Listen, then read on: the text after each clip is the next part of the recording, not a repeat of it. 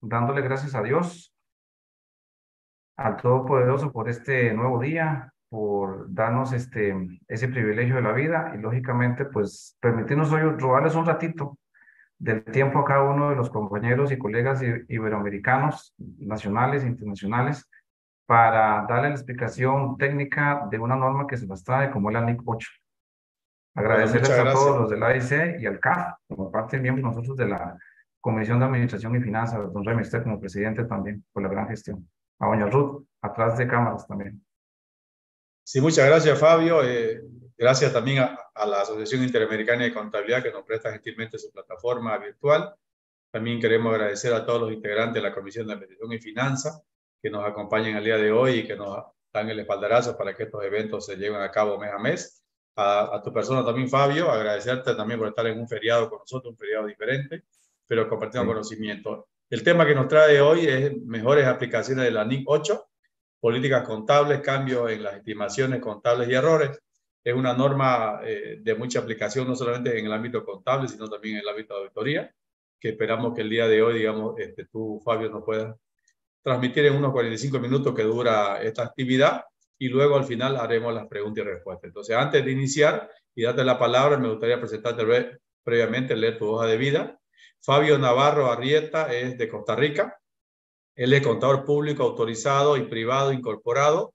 Cuenta con una maestría en administración de empresas, juntamente con la licenciatura en contaduría pública, sin dejar de lado los cursos y seminarios afines de la carrera relacionada. Además, pertenece a la Junta de Gobierno de la Asociación Interamericana de Contabilidad AIC por parte del Colegio de Contadores Públicos de Costa Rica y para este periodo 2020-2023 es nombrado como director nacional de la IC por Costa Rica.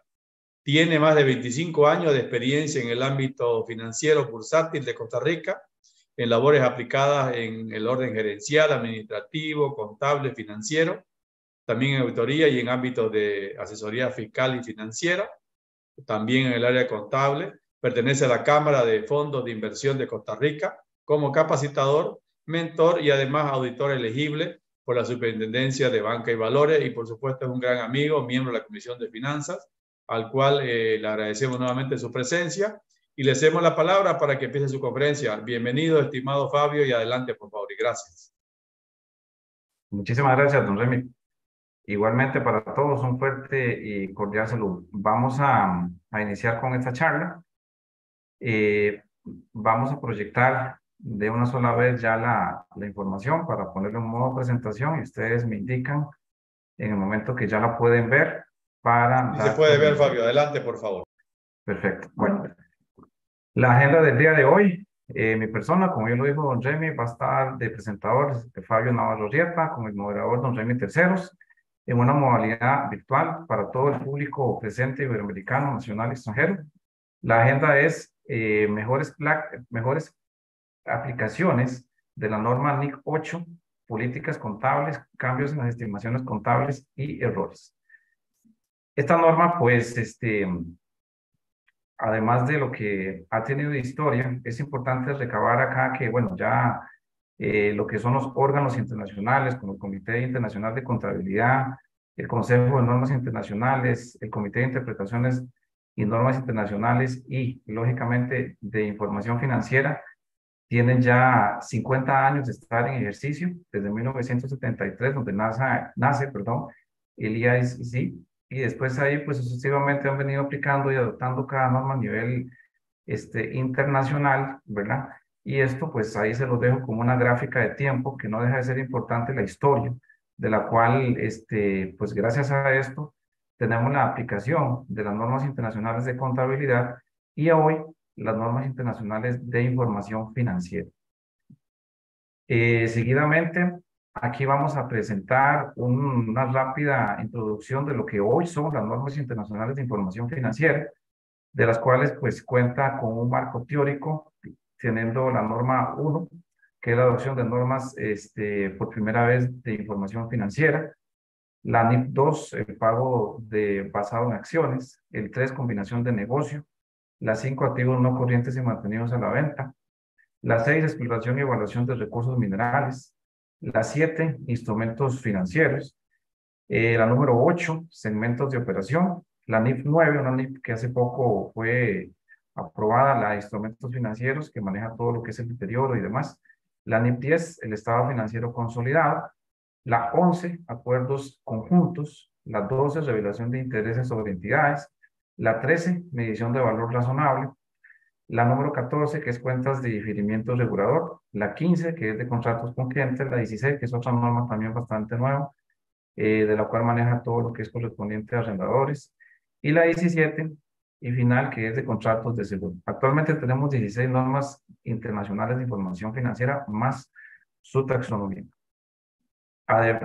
Con respecto a las normas internacionales de contabilidad, estas sí son un poquito más. Aquí, pues, voy a dar importancia a la NIP 8, que es la que vamos el día de hoy a, comentar, a hablar, llevar ejercicios y un poquito la radiografía que ella tiene. Eh, esta norma, pues, de políticas contables y cambios en estimaciones contables y errores, este, es la, categorizada número 8, y así como esta, está la 1, la 2, 23, la 19, que son muy importantes, también la 16, que es de propiedad, planta y equipo. Existen otras más, que es desde la 24 seguida hasta la 41, que es de agricultura, y de ellas tenemos 25 normas internacionales de contabilidad, más, como dije al principio, marco conceptual, taxonomía, que estos son eh, aspectos muy importantes que el contable debe manejar o el aplicador o el adaptador de normas para que este, califiquen bien eh, el tipo de movimiento, cuenta y demás en los estados financieros. Bien, con esta parte introductoria importante que no deja de serlo, vamos a ir entrando en materia. La NIP 8, como bien lo vimos, es una norma que, bueno, nació en el año 2001 el Consejo de Normas Internacionales, ahí fue eh, su primera adopción. En el 2003 fue emitida su, su primer título de políticas contables. En el año 2018 se definió un poco ya el tema de la materialidad, que no deja de ser un punto importante, no solo por el asunto auditoría contable y contable auditoría. Y en el 2021, eh, hace dos años, se definió lo que son las estimaciones contables en esta norma. Inició como tal el primero de enero del año 2005. Esta norma, yo, en mi parte, para mi persona que también llevo la, el sombrero doble, no solo de contador, sino que también de auditor y demás, es muy importante porque es una norma dual que le ayuda tanto al contable como al auditor para cuando hace sus estudios o previos a la auditoría para, lógicamente, tener una, una, una claridad de cuál es por así llamarlo, eh, la estructura en política contable, en estimación contable, si se llegara a tener, y de este, la, podríamos decir, la, la, la composición que ese tipo de empresa o persona maneja a nivel financiero contable eh, muestra o da una, una alta eh, calificación desde el principio en, en, las notas de estados financieros esta norma ya se comienza a aplicar donde se establece todo ese tipo de detalles. Ahora, lógicamente, en base vamos a ir avanzando con las firminas y demás, vamos a ir aterrizando y vamos a ir entendiendo un poquito lo que lleva esta norma, que para mí es una norma bastante importante. Y este, como le llamo yo, es dual, o sea, es de doble propósito para mí. Un poco la radiografía de esta norma, que no deja de ser importante, nos sale lo siguiente, es una norma que como todas las normas, tiene un objetivo, un alcance de definiciones, que esto es como el prefacio que todas las normas, tanto internacional contable como financiera contable, tienen, siempre lo tienen, entonces esta parte no hay que dejarla de lado en que esta norma lo trae. Aquí viene ya en, en, las, en los párrafos de esta norma lo que define las políticas contables, las estimaciones contables, los errores y el tema de la impracticabilidad de aplicación de reexpresión retroactiva, que esto después ahí vamos a desarrollar esos conceptos que son bastante importantes. Bien, aquí un poquito, ya eh, viendo la, la, parte objetiva de la, de la norma, tenemos cuál, cuál es el objetivo y el alcance que esta norma maneja. Bueno, esta norma tiene como clarificar prescribe criterios a la hora de seleccionar y cambiar las políticas contables. Esto en conjunto con, lógicamente, el, el tratamiento contable, revelaciones de cambios de políticas, estimaciones y corrección de errores. Eh, es importante que, que en esta clarificación de lo que es el objetivo de la norma, viene también el, el, que nos ayuda a que la relevancia, la fiabilidad de los estados financieros de una entidad no solo sean razonables, comparativos, sino que también a lo largo del tiempo estos estados financieros muestren una, un lenguaje técnico razonable, es una palabra que se usa mucho, pero es importante, técnico razonable para que el lector entienda bien cuál es la política establecida, cuál es el criterio establecido, cuál es la definición y el alcance, que no deja de ser importante porque el alcance es lógicamente el cumplimiento de las políticas. A la hora de contabilizar, a la hora de hacer cambios, a la hora de hacer las estimaciones, a la hora inclusive de transmitir al lector el efecto tributario fiscal que corresponde en cada periodo. Toda esta parte técnica eh, es muy, muy demasiadamente este, importante el llevarlo, conocerlo, afinarlo. ¿Por qué? Porque la, la, la relevancia, el alcance y la objetividad de esta norma es, como bien lo estaba comentando ya, eh, eh, ayudar al lector a entender esta empresa, cuál es su objetividad, cuál es su alcance y además de eso, cuál es la política establecida para, para cada uno de los, de los, ¿cómo se llama esto?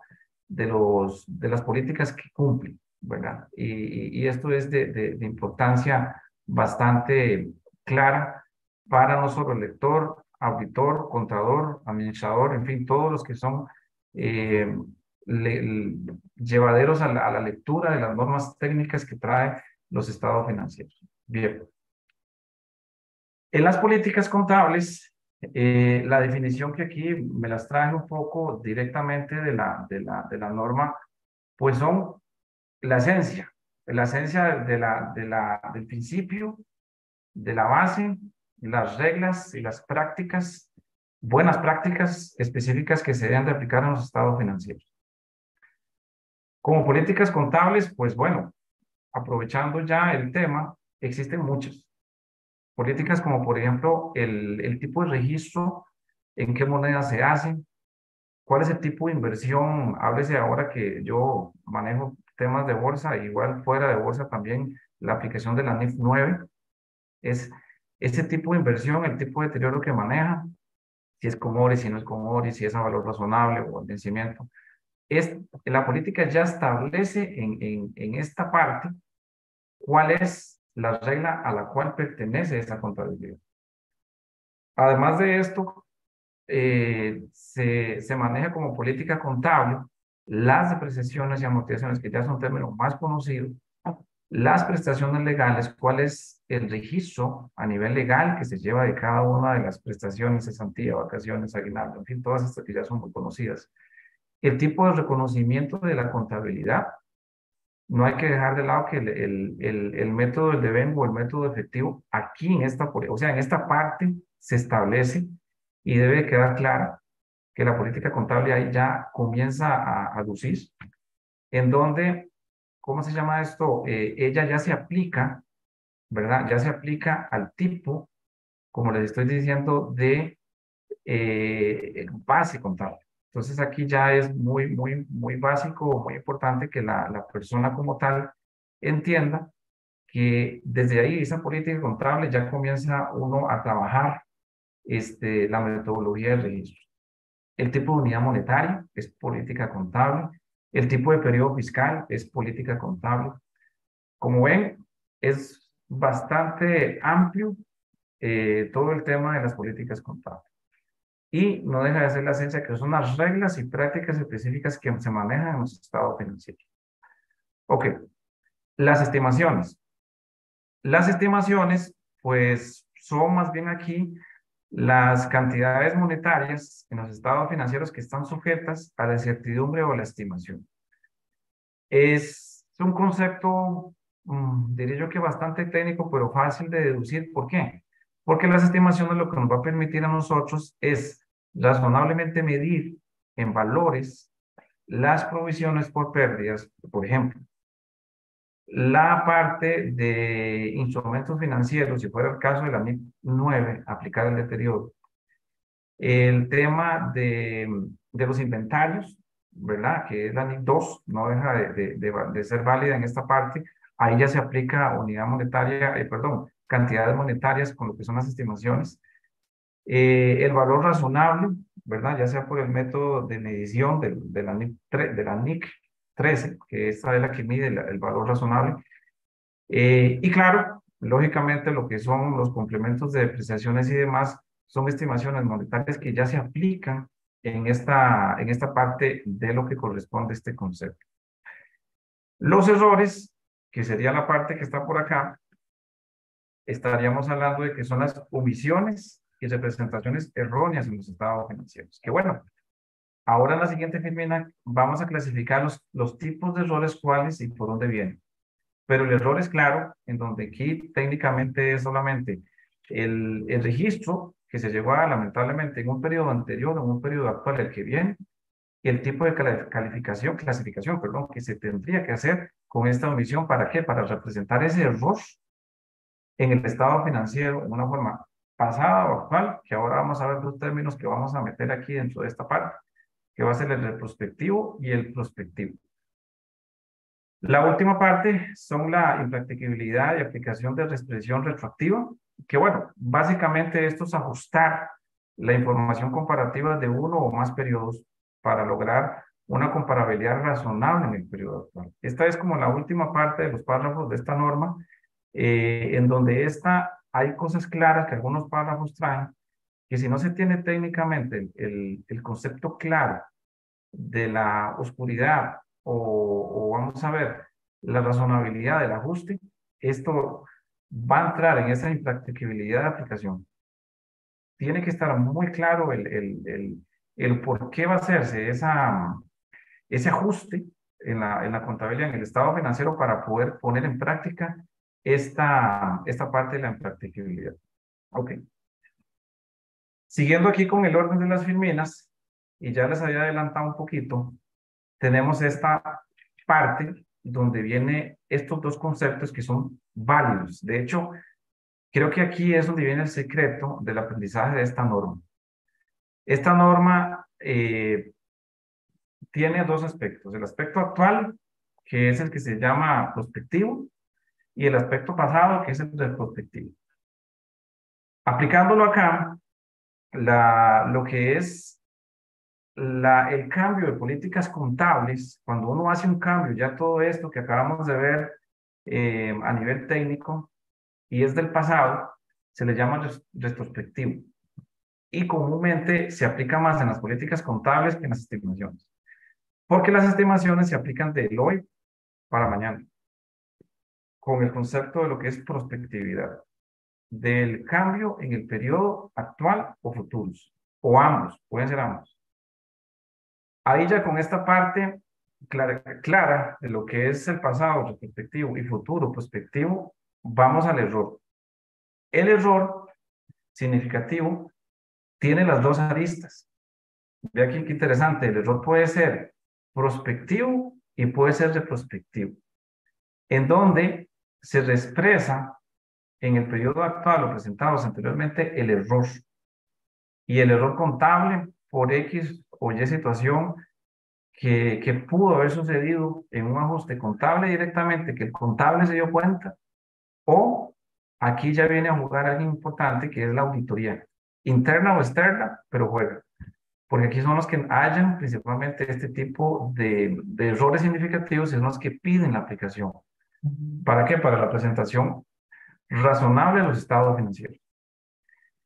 Aquí viene abajo una parte de lo que es, perdón, eh, la aplicación retroactiva o la restricción retroactiva que requiere suposiciones sobre el cual eh, habría sido la intención de la gerencia en el periodo. Ok, si en el periodo, por ejemplo, con este concepto de la retroactividad, se quisiera suponer presentar bien la información, aquí tenemos que técnicamente aplicar la retroactividad para reexpresarlo en el periodo actual. Cuando viene la parte de la corrección, el reconocimiento y medición, esta se llama la expresión retroactiva, es decir, que es del pasado. Entonces, es de los estados financieros que ya cerraron, o sea, que ya están hasta técnicamente auditados, ya su periodo fiscal cerró, ya se presentó inclusive las declaraciones, en fin, tuvo ya un, un, un preámbulo un poquito más, más fuerte. Pues bueno, cuando viene el concepto de la restricción retroactiva, y que bien que lo dice retroactiva, es la corrección técnica de esos periodos anteriores ya cerrados. Qué bien, es claro que casi siempre y en su gran mayoría son por la auditoría interna o externa. Con esta parte ya clara, y de igual forma, este, ahí mi estimado Remy me puede ir consultando en vivo si gusta alguna consulta que si quisiera, de alguna duda que llegaran a tener, con todo gusto. Vamos a pasar ahora, vamos a pasar ahora, ya una vez que hemos visto estos conceptos que me parece que son bastante válidos, como el objetivo, las políticas, estimaciones, errores, ahora esto de la retroactividad, prospectividad, Vamos a entrar ahora al, tema de los casos, ¿verdad? Para ayudarles un poquito más con relación al proceso que tiene la norma técnica. Aquí tenemos un primer caso donde este, vamos a leerlo para la empresa IFE Mars.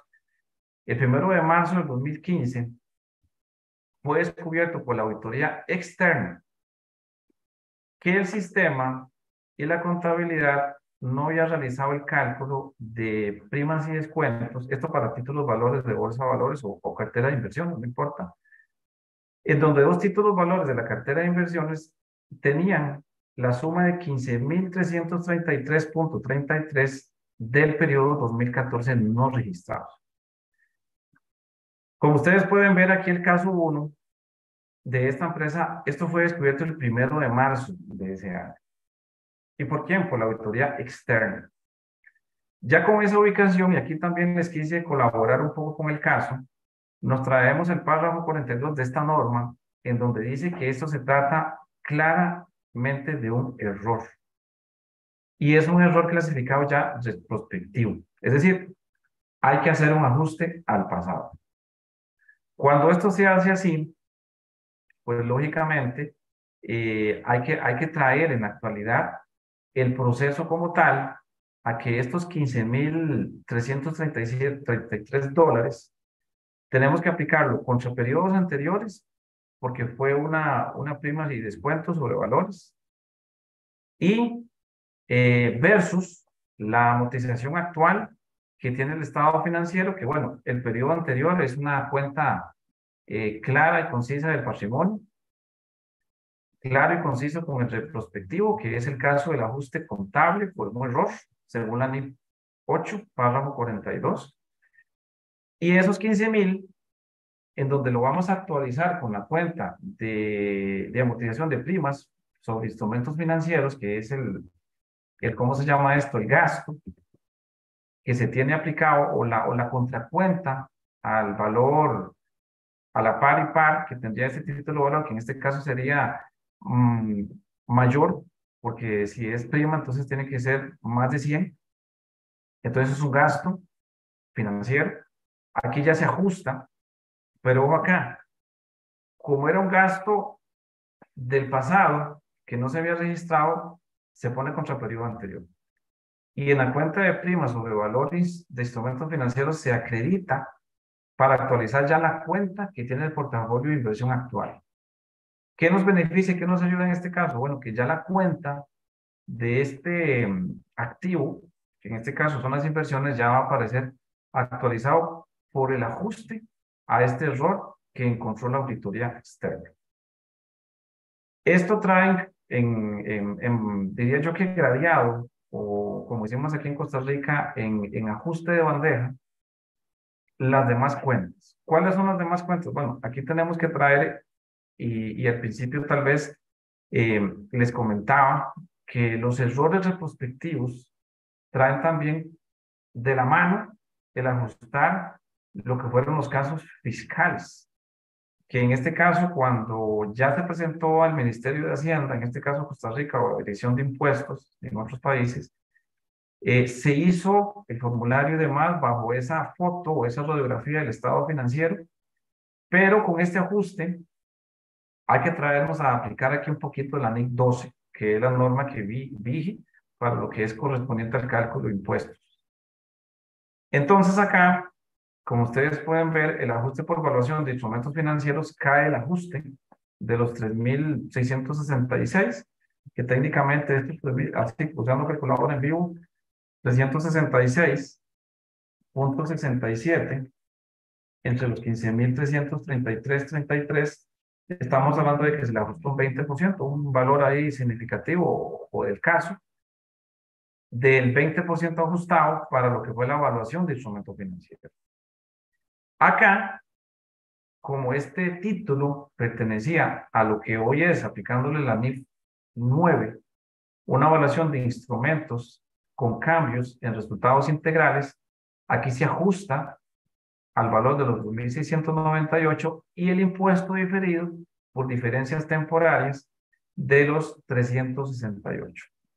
368, que si bien el caso, igual con calculadora mano acá, eh, lo dividimos sobre el valor de los 15.000, significaría un punto 0,2% correspondiente al impuesto diferido por diferencias temporales.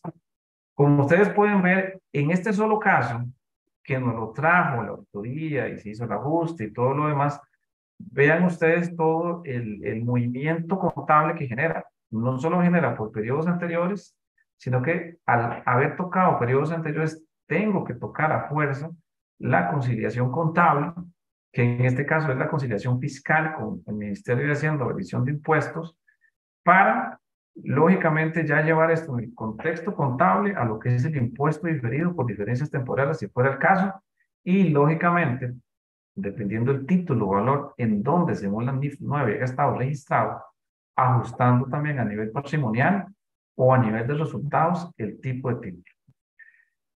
Este, este caso, pues bueno, lógicamente al haberlo encontrado la auditoría externa, la auditoría externa con el ajuste ya puesto, pues bueno, ya el contable, habiendo registrado el asiento de esos dos títulos, que hubo una omisión de cálculo en prima y descuento en el registro contable, el auditor, como parte del apoyo a esto, tiene que poner una nota en los estados financieros, en donde indica con un ajuste de auditoría que la empresa FI Mars, que se indicaba en el mes de marzo, se detectó por parte de la auditoría externa un error. Y al haber cerrado el periodo 2024, este error tuvo un origen por lo cual la contabilización de las primas sobre valores y el cálculo de evaluación de impuestos respectivos han sido corregidos por medio de la reexpresión retroactiva de los estados financieros. Ojo aquí, que como yo les decía al principio, esta norma yo la considero que es dual, o sea, es una norma que técnicamente ayuda al contador pero también técnicamente ayuda al auditor. Porque como vieron ustedes, en este caso tan sencillo, que es un caso realmente sencillo, no solo trajimos de valores periodos pasados el ajuste actual, sino que también en la revelación de notas de estados financieros de la auditoría se tiene que revelar este error, hace que ya la contabilidad se ajuste y al hoy con la parte impositiva. Como ven, es un caso sencillo, se da mucho, no les voy a mentir, porque yo eh, o mi persona y la empresa, este, nuestro, en nuestra parte, se da cuenta muchísimas veces de este tipo de errores retrospectivos que, ojo, traen a la reexpresión retroactiva de los estados financieros y está muy claro. Bien, vamos a otro caso más para seguirles ilustrando eh, de, de, esto que es tan, tan interesante de la aplicación de esta norma. El segundo caso es un caso en donde una sociedad X, X Y, Z se da cuenta con un mobiliario de equipo en donde se dice que se depreciaba a 10 años. Y su aplicación por depreciación, ojo, utilizaba el método de suma, suma de dígitos. Pero a partir del año 2014 se cambia al método de línea recta. Aquí está claro que el método que traían era suma de dígitos y el nuevo es método de línea recta. Cambiaron por completo su método. El valor de los activos era por 40 mil dólares, fue adquirido en el año 2010. Y aquí viene una tabla en donde, ojo, año 2010, año 2011, año 2012, 13, 14, cuando se dieron cuenta del cambio. Aquí venía el ajuste, perdón, aquí venía el valor en la historia de lo que había sido la depreciación en su medida, que era muy acelerada. Técnicamente aquí, como auditor lo veo, o como contable lo, lo analizo, era muy acelerada, donde, donde el activo, pues en 2010 fue de 7.272, en el 11 6.500, en el 5 5.800, ahí va bajando 2013, porque esa es la, la metodología de la suma de dígitos es esa, que más bien en, en el caminar de los años vaya bajando, es muy agresiva al inicio, y ahí va bajando, va bajando. Terminó en un total de 29 mil dólares, 0.90, o 29 mil dólares, 90.91. Esta es la metodología suma de En la depreciación lineal o, o metodología de línea recta, como ustedes pueden ver acá, esos 10 mil entre 10 años, pues técnicamente es el mismo valor durante todos los años y fueron 4 mil, 4 mil, 4 mil, 2013, 4 mil, 2012, 4 mil, 2014, ahí va, ahí va, ahí va hasta llegar a los 20 mil, o por lo menos hasta ese momento que se encontró la, la parte esta del ajuste. Teniendo un total de 20 mil en esos cuatro años, cinco años, perdón. Y aquí abajo, la diferencia es que se fueron encontrando en cada una de las aplicaciones. Nuevamente, me gusta traerme el extracto de, de dónde y por qué estoy aplicando la metodología esto es un cambio de política y es un ajuste, es un ajuste, perdón, retrospectivo. Por lo tanto, el cálculo de depreciación se debe ajustar a resultados acumulados y el periodo actual. Ojo que aquí ya son los dos. Ve qué interesante. Según el párrafo 22 de la norma Nicocho. En este caso, eh, acá ya una vez que la, la empresa declaró, bueno, lógicamente aplicó esta metodología y demás, vamos a traernos los asientos, que ojo acá, quiero, quiero que lo vean un poquitito, recordaron por lo menos el primer movimiento, porque ya los demás son repetitivos. El primer movimiento habla que hay una diferencia en el 2010 de 3.272.73. Es decir, aquí esta diferencia para ajustar la depreciación de línea recta es el primer ajuste que debemos hacer en ese periodo 2010. Después ahí siguen los demás, 2011, 12, 13, hasta llegar al 14. Pero acordémonos de los 3.272. Aquí ya lo podemos ver en el débito, donde me estamos trayendo, ¿verdad? Me está, nos estamos trayendo esta revaluación de, de equipo mobiliario por depreciación acumulada en contra, porque ustedes bien saben que el gasto es en este caso el, el debe y el haber de la depreciación acumulada. Aquí más bien la depreciación acumulada es al debe estamos bajando de la metodología que traía. Y aquí venimos a ajustarlo contra los o el periodo anterior. Pero, como al, al caso anterior, me gusta traerme también todo lo que pasa en conjunto, hay que ajustar el impuesto eh, diferido, en este caso aplicando la NIC 12, porque hubo una parte positiva en todos estos cálculos. Recuerden que las depreciaciones y amortizaciones son escudos fiscales, pero no hay que dejar de lado que también cuando se hacen ese tipo de ajustes van a traer consigo ajustes a los impuestos. Entonces acá, como ustedes pueden ver, el compendio de este asiento, de este asiento contable, que fue el 31 de diciembre de 2014, ya es un tema ahí relativo al, al movimiento, porque ahí fue detectada o fue por lo menos eh, puesta ¿verdad? La, la, el cambio de metodología, que esto no fue de auditoría, fue un cambio contable, en donde esto, acá los 3.272 van contra, la, o perdón, vienen de presión acumulada al debe, contra las utilidades de periodos anteriores al haber. Y el impuesto sobre renta diferido al haber. Aquí con este primer asiento de ajuste es repetirlo para el periodo 2010 2011, 2012, 2013, 2014. Y ahí ya técnicamente tenemos ajustado, si se puede llamar así, los tres periodos, ¿verdad? Los tres periodos que estamos llevando. La única diferencia, que no sé si lo lograron notar, fue esta.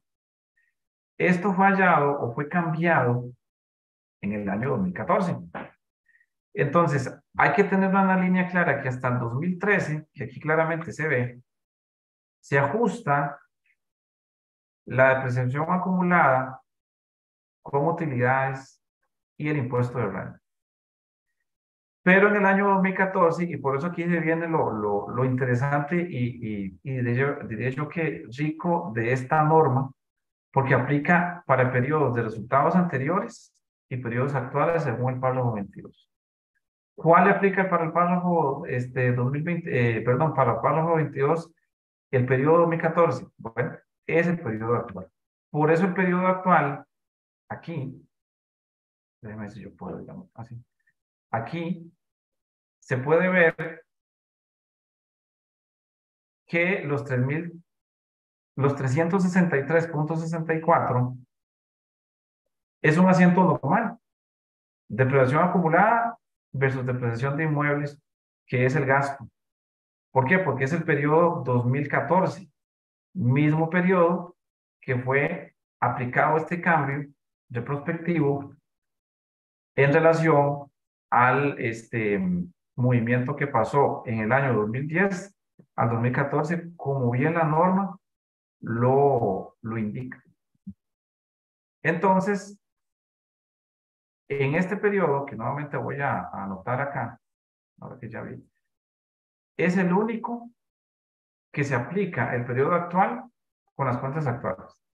Lo demás, de aquí para atrás, era contra periodos anteriores y lógicamente el ajustar eh, lo que correspondía al impuesto de frío, eh, temas de mm, metodología a la conciliación fiscal, toda esa parte.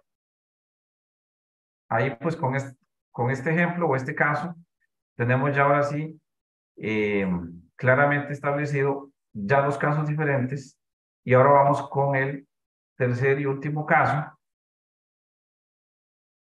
que en este vendríamos a ver básicamente, ah, perdón, yo creo que se me olvidó, déjenme un momentito leer la nota. Ajá. Aquí entonces en la nota de estado financiero se indica que para esta sociedad, eh, en el estado financiero sería normal, declara que tomando la base de información del mobiliario y equipo, se recata que se procedió a modificar la metodología de apreciación de suma de, suma de dígitos a línea recta, según resumen siguiente del ajuste de periodos anteriores y ajuste actual de estados financieros cuentas del año 2014.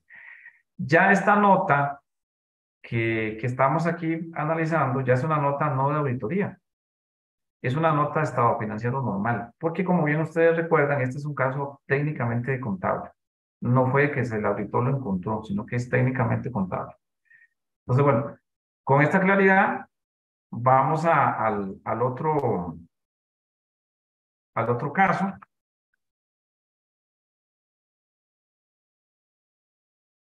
¿Qué sería el tercero?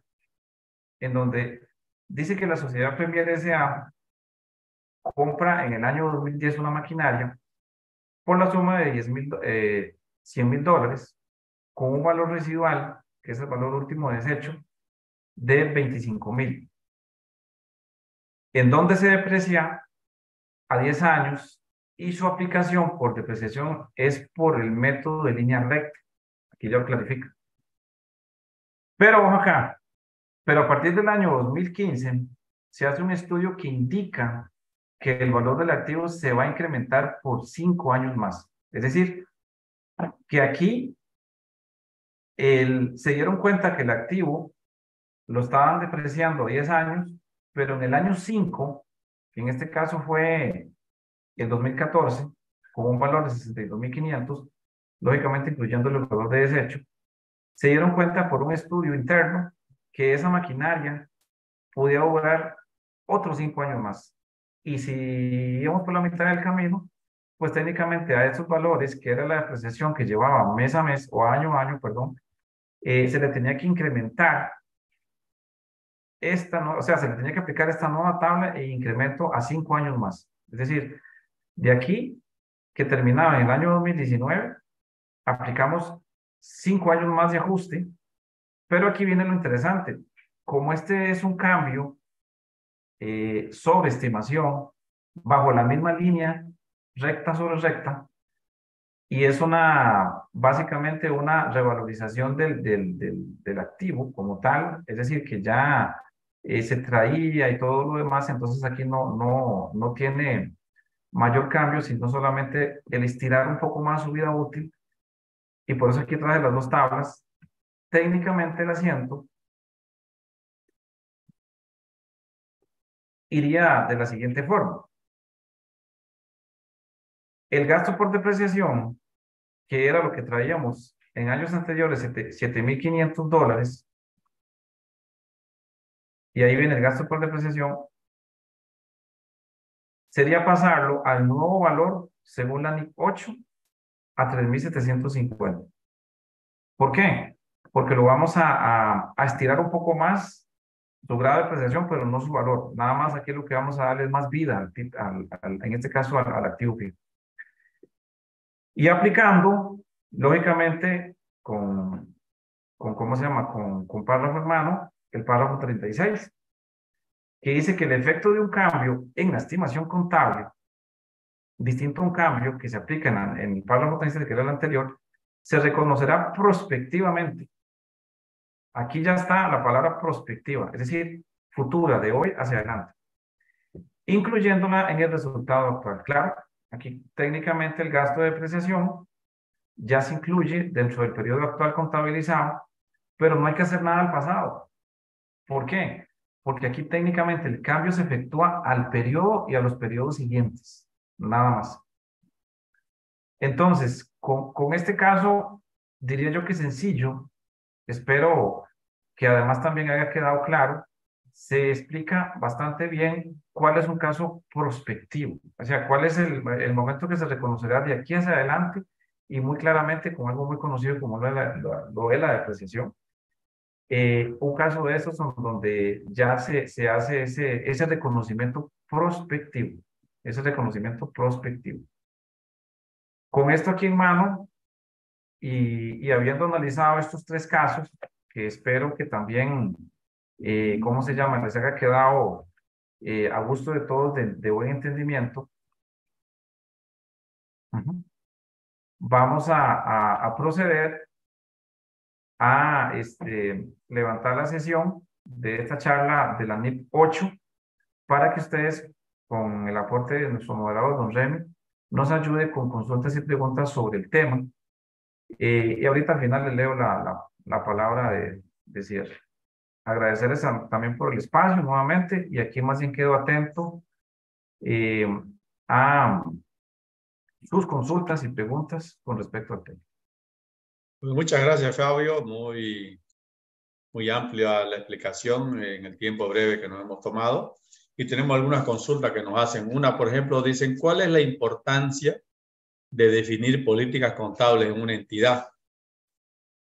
en tu concepto, ya que tú tienes ah, esa dualidad ¿no? en, el, área contable y auditoría, ¿cuál cree que es el concepto? Porque muchas entidades a veces no definen su política contable. Claro, bueno, vamos a ver, pero el concepto en cuanto a lo que es la política es que, eh, eh, como bien al principio lo estaba yo indicando, ¿verdad? La, la política no solo es la, la que me va a ayudar a mí a llevar de la mano al lector del estado financiero, sino que también ahí viene el criterio técnico, donde yo siento la base, siento la regla del negocio y lógicamente las prácticas específicas a ese tipo de empresa. Háblese comercial, no comercial, financiero, no financiera, regulada, no regulada.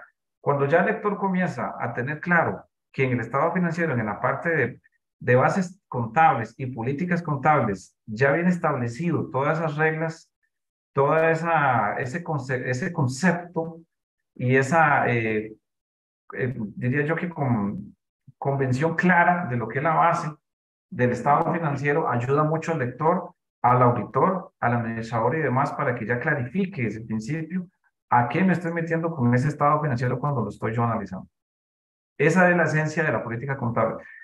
Y de hecho también me voy a tomar la libertad, según aquí la, la, la, taxonomía o el marco conceptual de la, de la, de la misma, de la misma, ¿cómo se llama esto?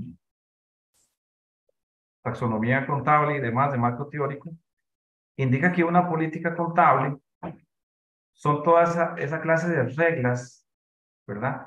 Son toda esa clase de reglas, principios, bases y prácticas claras y definitivas que se contemplan en los estados financieros.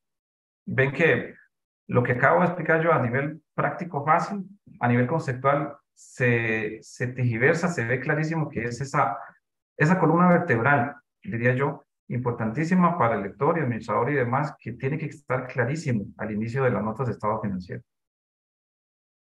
Gracias, Fabio. Dos preguntas en uno. En el ejercicio número uno, en el que tú nos expusiste sobre el, error, adicional al registro contable, que es retrospectivo, hay que corregir también la declaración tributaria y la cuenta 7 que, que utilizas en el debe de activo o de gasto es la pregunta.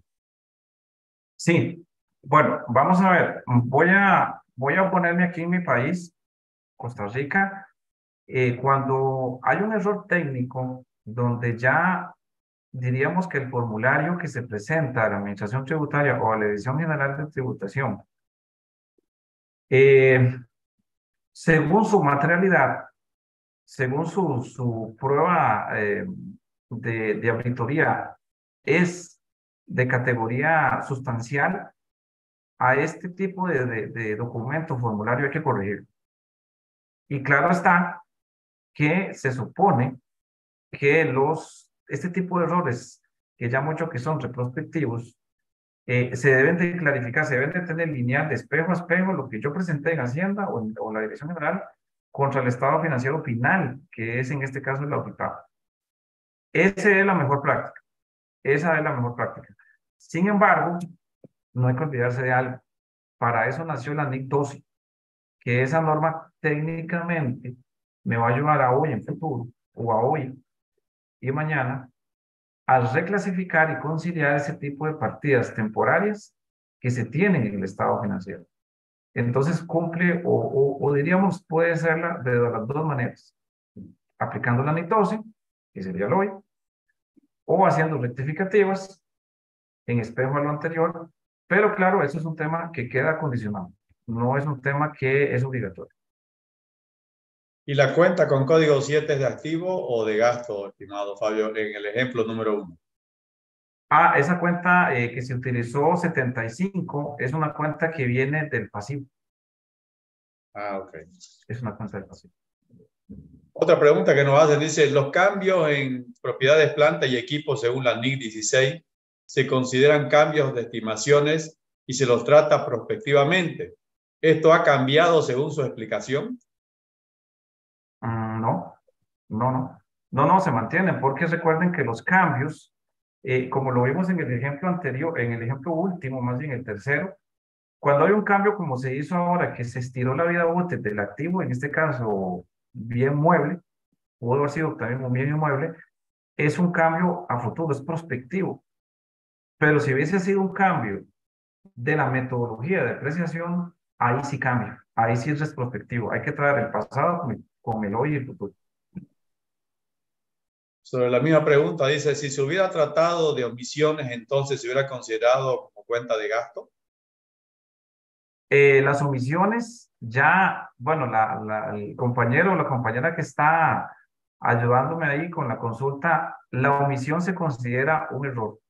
Y esa omisión, error, habría que ver si es del pasado que se encontró hoy, es con periodos anteriores. Si es hoy y es del pasado, puede ser combinado. Puede ser del pasado y puede ser de hoy en adelante. Como fue el caso, creo que fue el segundo que les explicamos, donde tenía técnicamente el dual, periodos anteriores y el periodo actual. Que el periodo actual técnicamente no se tocó periodo actual, sino que nada más se puso al gasto corriente o al gasto resultado real actual del periodo que está llevando en marcha la empresa. Una última pregunta tenemos, estimado Fabio, abusando de tu confianza también y el feriado que estás llevando allá en Costa Rica, que estás trabajando. Sí, sí, eh, una última pregunta. Eh, ¿Cuán frecuentes son la detección de errores en, en, la revisión de los estados financieros en, la experiencia tuya, digamos, ¿no? Y ¿qué recomendación podría dar a los contadores públicos, especialmente a los juniors que se están iniciando en esta profesión? Bueno, don Remy, este, poniéndome el sombrero de la auditoría, eh, son muy frecuentes. Viera que honestamente yo soy un tipo de auditor que me gusta ser un auditor preventivo, no tan operativo. Pero lamentablemente cuando nos encontramos este tipo de errores, que, que la verdad que sí los hay y, y bastantes y a todo nivel, o sea, hay, hay bajos, medios y grandes, eh, sí, a veces, y respondiendo a la pregunta de los juniors, a veces me pasa que son errores o omisiones a veces un poquito por eh, temas de tal vez omisiones muy técnicas, que a veces tal vez se les olvida en un periodo dado seguir la secuencia del gasto, gasto, gasto, ingreso, ingreso, ingreso, dependiendo de la cuenta, o el movimiento, y se les va por un mes, se les va por dos meses, y después vuelven otra vez a hacerlo y se les quedó. Y cuando se hace la prueba de auditoría o el papel de trabajo, pues nos damos cuenta de esas cosas. Y esas son, como les decimos nosotros, son pequeñas cosas que hacen grandes cambios. Porque como bien usted sabe, y todos los compañeros acá presentes, la auditoría siempre son a años cerrados. Siempre cuando se llega a la auditoría externa, eh, es sobre un periodo que ya pasó. Y este tipo de errores y omisiones se encuentran mucho. ¿Y por qué son? Muchas veces son por el tema de pequeños descuidos y pequeñas cosas que tal vez, eh, no hablo los pequeños contadores los que están formando bases, a veces también nos pasa a nosotros mismos, que se nos va un, un movimiento contable por error o omisión, por eso son así. Y ahí es donde viene el caso del ajuste. Ahora, eh, con respecto al, al tema de, de, esos movimientos, no solo hay de omisiones, también hay cambios en el camino que la administración también los hace o la auditoría también los solicita por temas normativos, por temas regulatorios, por temas de cambios de metodologías. Entonces, este, ahí es donde se combinan en, y, aplicando esta norma por políticas, por estimaciones, por errores. Y toda esta parte es muy importante. ¿Por qué? Porque es una combinación. Por eso esta norma yo la considero una norma dual, es decir, una norma que al contador le ayuda y al auditor lo protege. ¿Por qué? Se mide y se tiene establecidamente la razonabilidad de los estados financieros en cierre de un periodo determinado. Bueno, Fabio, muchísimas gracias por tu tiempo, por tu paciencia. Este es un tema que da para más sobre la TIC 8. Es una, una norma, aunque no creamos, es una de las más utilizadas y además a veces polémicas también. Pero en fin, lo que se ha tratado en este corto tiempo es de dar algunas, algunas nociones, algunos conceptos y algunos ejemplos para que, bueno, nuestros colegas interamericanos puedan, digamos, tomar nota de ello. Se va a compartir también la presentación con ellos a través del correo de la ICE. Así que finalmente agradecerte a ti, Fabio, darte las gracias por tu participación agradecer a todos los colegas interamericanos y, tu palabra final de cierre, por favor, estimado Fabio. Claro, más bien voy otra vez a, a compartir la pantalla. Ahí me, me indican cuándo la están ya viendo, creo que ya. Aquí les voy a dejar un último mensaje. Primero que todo, pues agradecerles a todos los que nos acompañaron en este día. Bendiciones para todos, desde Costa Rica al, a la parte iberoamericana y pues todos los que nos han estado pues eh, escuchando y que nos robamos este ratito de su tiempo el día de hoy, decirles que cada fracaso le enseña al hombre algo que necesita aprender. Esto según Charles Dickens. Muchísimas gracias a todos, eh, bendiciones. Em, en respaldo al AIC, pues muchísimas gracias por la por esta charla, a esta convocatoria que nos hicieron, invitarles a siempre todas las sesiones que estamos en título personal de la Comisión de Administración y Finanzas bajo nuestro presidente, don Remy Terceros. Así también, pues, invitarles desde ya a lo que va a ser el Congreso Interamericano en Guatemala, que se va a hacer el SIG en, este año 2023, en el mes de noviembre. Y invitar a todos a seguir nuestras páginas de redes, que siempre hay información y material muy importante que les va a servir a todos ustedes para el buen desempeño de su ejercicio. Muchísimas gracias, saludos a todos, a la parte técnica, doña todos, don Remy, usted, muy agradecido, y al AIC por este espacio. Bueno, muchas gracias y buenas tardes a todos. Un gran saludo interamericano. Gracias, Fabio. Hasta luego. Muchísimas gracias.